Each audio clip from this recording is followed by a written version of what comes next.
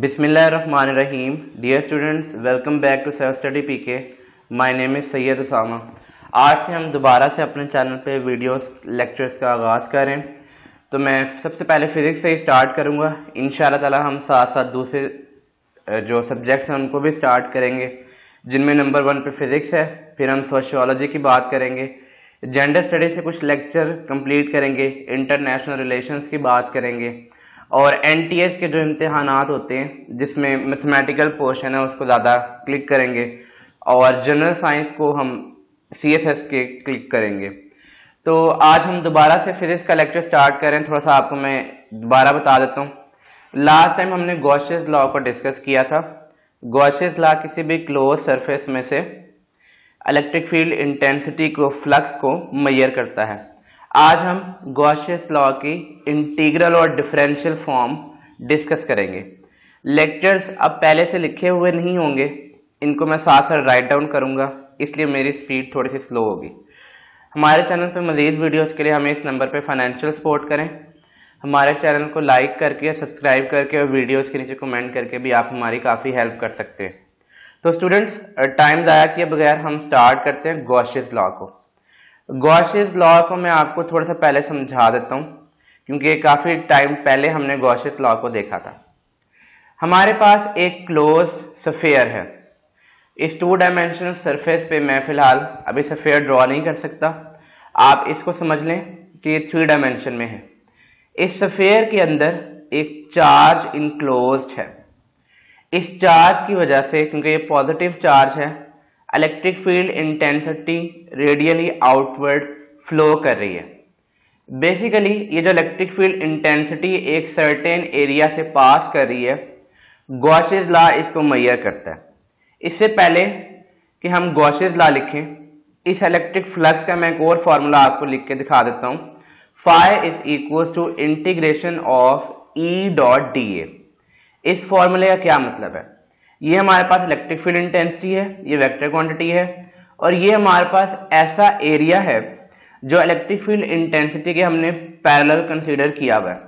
हमने area patch इसलिए consider किया है ताकि हम एक यूनिफॉर्मिटी और सिमिट्री डेवलप कर सके।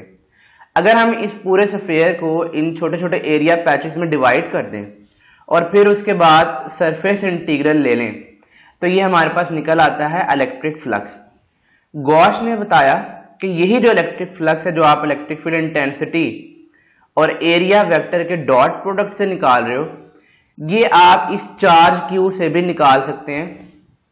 और उसका फॉर्मूला बहुत ही सिंपल सा है। Phi is equals to Q over epsilon naught देखें, ये जो इलेक्ट्रिक फ़ील्ड इंटेंसिटी यहाँ आपको नज़र आ रही है ऑब्वियसली बात है ये इस पॉजिटिव चार्ज की वजह से है। या तो आप पूरी सरफेस के ऊपर इलेक्ट्रिक फ़ील्ड इंटेंसिटी और एरिया वेक्टर के डॉट प्रोडक्ट का सम ले लो। या आप टोटल चार्ज को परमिटिविटी ऑफ़ फ्री स्पेस से डिवाइड कर दो। अब यहाँ पे ये बात देखने वाली है कि जो इलेक्ट्रिक फ्लक्स है, वो दो फैक्टर्स पर डिपेंड करता है। Number one is charge and number two is material जिसके अंदर से इलेक्ट्रिक फ़ील्ड इंटेंसिटी पास करिए तो नेचर ऑफ़ मटीरियल पर डिपेंड करता है। इसका मतलब है ये सर्फ सरफेस या ज्योमेट्री के ऊपर डिपेंड नहीं करता। तो डियर स्टूडेंट्स आज हमने गॉशियस लॉ की इंटीग्रल फॉर्म को डेवलप करना है। पहली बात तो ये कि हम इससे काम क्यों नहीं चला रहे? डियर स्टूडेंट्स हमारे पास मुख्तलिफ़ तरह की ज्योमेट्रीज हो सकती हैं और हम चाहते हैं कोई ऐसा जनरलाइज फार्मूला बनाएँ कि जिस तरह की फिगर हमारे पास आए, उसका वॉल्यूम या उसका एरिया सब्सटीट्यूट करके गॉशियस लॉ अप्लाई करके हम वहाँ पे इलेक्ट्रिक फ़ील्ड इंटेंसिटी का फॉर्मूला इजीली निकाल सकें। तो सबसे पहले हम स्टार्ट करते हैं। गॉशियस लॉ की equation number one phi equals to Q over epsilon naught और हमें पता है ये जो इलेक्ट्रिक फ्लक्स है, जो number of electric field line passing through certain area है, हम उसको इस फॉर्मूले से भी रिप्रेजेंट कर सकते हैं। अगर हम दोनों इक्वेशन को कंपेयर करें इक्वेशन वन एंड टू को तो हमें नज़र आएगा कि एक साइड पे तो हमारे पास इंटीग्रेशन फॉर्म पहले से ही बनी हुई है।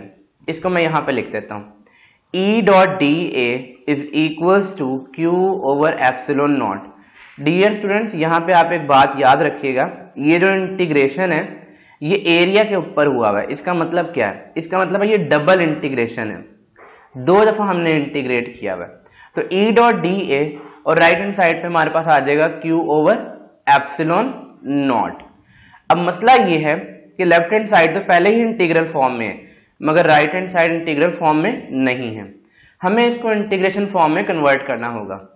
हम यहाँ पे थोड़ा सा एक चीज़ करते हैं कि हम इस सफेयर में एक खास वॉल्यूम ले लेते हैं। Let's say here we take some volume D और हम सपोज़ करते हैं, अगर हम शायद इसको यहाँ पे ले लें तो ये हमारे लिए ज़्यादा इजी हो जाएगा। हम ये बात सपोज़ कर लेते हैं कि इस वॉल्यूम के अंदर चार्ज डी क्यू स्टोर है। तो आपने डेंसिटी का कॉन्सेप्ट पहले से पढ़ा था। डेंसिटी होती है मैस पर यूनिट वॉल्यूम लेकिन अगर हम चार्ज की बात करें, यानी कि हम चार्ज डेंसिटी की बात करें तो चार्ज डेंसिटी को हम लिख सकते हैं D Q over D V इस बात का क्या मतलब हुआ? उस वॉल्यूम में या वॉल्यूम पैच में जितना चार्ज इनक्लोज है अगर आप उसको वॉल्यूम से डिवाइड कर दो that is called charge density तो यहाँ से हमारे पास चार्ज डेंसिटी का फॉर्मूला आ जाता है। अब हमें चाहिए चार्ज तो चार्ज हम कैसे बना सकते हैं? यानी कि हमें टोटल चार्ज चाहिए। तो हम इसको लिख सकते हैं D Q is equals to rho into D V dear students यहाँ पे जो हमने पैच लिया है इतफाक से उसने टोटल चार्ज को इनक्लोज किया हुआ है। लेकिन ज़रूरी नहीं है कि चार्ज एक पॉइंट पे ही कन्फाइंड हो। हो सकता है चार्ज पूरी सफेयर के ऊपर हो। अगर ऐसा होगा तो हम इस वॉल्यूम यूनिट को सम ले लेंगे पूरे सफेयर के ऊपर, और मैं यहाँ पे यही करने लगा हूँ। कॉन्टिन्यूस सम यानी कि इंटीग्रेशन लेते हैं चार्ज की ओवर कंप्लीट वॉल्यूम तो हमारे पास टोटल चार्ज आ जाता है। तो मैं इसको लिख सकता हूँ Q is equal to integration of rho is the constant integration over total volume इस इक्वेशन को Q is equal to rho into D V को मैं इक्वेशन नंबर थ्री में सब्सटीट्यूट कर देता हूँ। हमारे पास इक्वेशन नंबर थ्री बन जाएगी। E into D A is equal to Q over epsilon naught की जगह हमारे पास आ जाएगा। One over epsilon naught as it is rho into D V जैसा कि आपको स्क्रीन पे नज़र आ रहा है कि हमारे पास लेफ़्ट हैंड साइड पे सरफेस इंटीग्रल है। जैसा कि मैंने आपको बताया था, surface integration is the two time integration. और राइट हैंड साइड पे हमारे पास वॉल्यूम इंटीग्रल है। वॉल्यूम इंटीग्रल का मतलब होता है पूरे वॉल्यूम के ऊपर इंटीग्रेशन। मतलब integration over length, integration over width integration over height. तो ये जो इक्वेशन आपको नज़र आ रही है this is the integral form of Gauss's law इससे हमारे लिए आसानी क्या हो सकती है?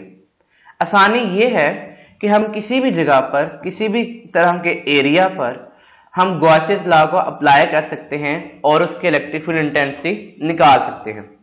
डियर स्टूडेंट्स अब हम differential form of Gauss's law को डिराइव करने लगे हैं।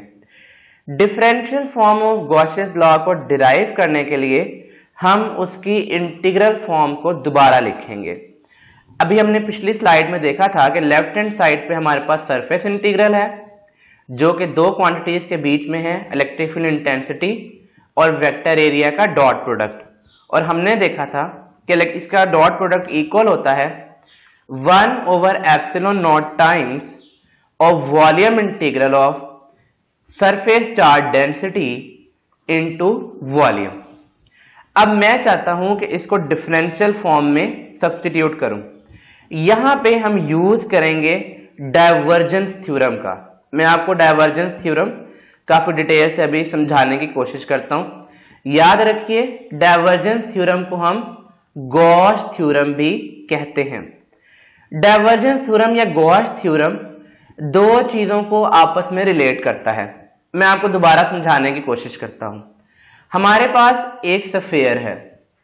इसको सफेयर दिखाने के लिए मैं इसको थ्री डायमेंशन में ड्रॉ करने की कोशिश करता हूँ। इसके बीच में एक चार्ज इनक्लोज है। इस चार्ज में से इलेक्ट्रिक फ़ील्ड इंटेंसिटी निकल रही है। ये वो एरिया है जो इस इलेक्ट्रिक फ़ील्ड इंटेंसिटी के परपेंडिकुलर है। लेकिन हम जो एंगल काउंट करते हैं, वो हम इस एरिया और इलेक्ट्रिक फ़ील्ड इंटेंसिटी का काउंट नहीं करते, बल्कि इस एरिया के नॉर्मल का और इलेक्ट्रिक फ़ील्ड इंटेंसिटी का एंगल काउंट किया जाता है। इसीलिए यहाँ पे एंगल ज़ीरो है electric field intensity dot D A यानी कि इलेक्ट्रिक फ्लक्स मैक्सिमम है।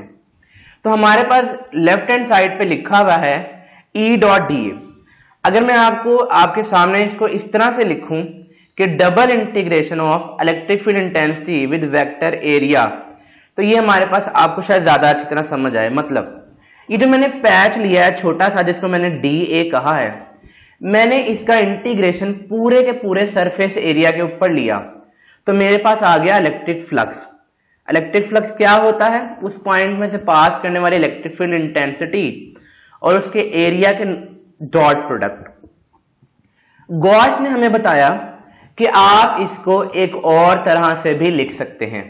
और वो लिखने का तरीका क्या है? पहले आप इस वेक्टर फ़ील्ड का डाइवर्जेंस कैलकुलेट करें। और डाइवर्जेंस कैसे कैलकुलेट करते हैं, आपको पता है del dot E del is a vector operator हमने पढ़ा था curly over curly X I plus curly over curly Y J plus curly over curly Z के डाइवर्जेंस हमें क्या बताता है? जिस भी वेक्टर का, पहली बात तो याद रखें डाइवर्जेंस आप हमेशा वेक्टर का ही ले सकते हैं स्केलर का नहीं ले सकते। जिस वेक्टर के ऊपर डाइवर्जेंस आप अप्लाई करते हो, वो हमें उस वेक्टर का फैलाव बताता है। इसका मतलब है हमें इलेक्ट्रिक फ़ील्ड इंटेंसिटी का फैलाव तो पता लग गया। लेकिन ये फैलाव हमें पता चला है एक खास सर्टेन वॉल्यूम के ऊपर। मतलब मैं यहाँ पे एक वॉल्यूम ड्रा कर लेता हूँ। तो हमें सिर्फ़ इस वॉल्यूम पैच के ऊपर इलेक्ट्रिक फ़ील्ड इंटेंसिटी का फैलाव पता चला है। और अगर हम इस पूरे सफेयर को N number of volume patches यानी कि डी वी एन में डिवाइड कर लें तो हमें सिर्फ़ क्या करना है? हमें सिर्फ़ तीन दफ़ा इसका सम लेना है। Sum over length sum over width sum over height तो ये बात हमें समझ आई कि ये जो ई डॉट डी ए है, इसका surface integral divergence of same vector के वॉल्यूम इंटीग्रल के बराबर होता है। तो मैं इसको यहाँ पे सिंपल वर्ड में लिख सकता हूँ। Surface integral of E dot D A ये इंटीग्रेशन हमने ली थी एरिया के ऊपर is equal to divergence of the vector field over whole volume and उसका सम और आप सबको मालूम है कि हम सम को वॉल्यूम इंटीग्रल से लिखते हैं। इक्वेशन फोर में लेफ़्ट हैंड साइड पे ई डॉट ई ए की जगह del dot E into D V आ जाएगा।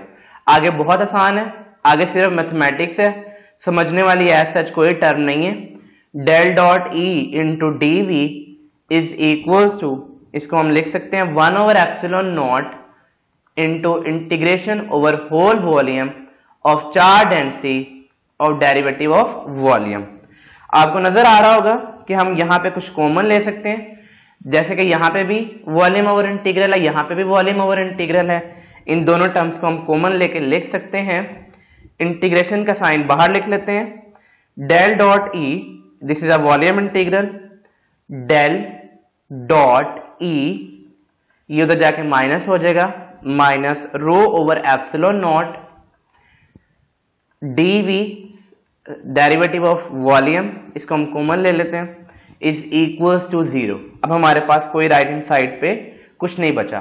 तो ये वाली जो टर्म है, इसको हम इक्वेट कर सकते हैं ज़ीरो के equal integration over the volume into D V that can be equal to zero हमारे पास बाकी टर्म बच जाएगी ब्रैकेट्स के अंदर del dot E minus rho over epsilon naught del dot E minus rho over epsilon naught is equal to zero यहाँ से हमारे पास आ जाएगा del dot E is equal to rho over epsilon naught मतलब अगर हमने किसी पॉइंट पे चार डेंसिटी मालूम है तो यहाँ पे हम उस गॉशेस लॉ को इस तरह से भी लिख सकते हैं कि इलेक्ट्रिक फ़ील्ड इंटेंसिटी का डाइवर्जेंस इक्वल होता है charge density divide by volume के।